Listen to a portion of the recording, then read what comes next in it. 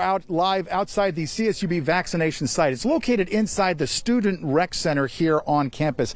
And after an early morning, and I hate to use this word, surge in people coming out to get vaccinated, several hundred people, in fact, showed up this morning.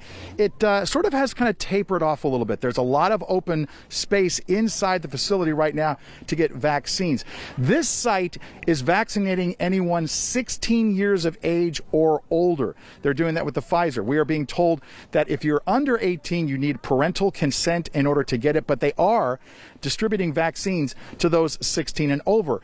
And the CSUB site has not yet reached maximum capacity, and the officials here stress that to me right now. Yes, it's a holiday weekend, but there are dozens of openings this afternoon to get an appointment and you can walk in. In fact, at full capacity, they're hoping to do 5,400 a day over the next 12 weeks. They're not even close to reaching that mark right now after they initially opened and people started coming in.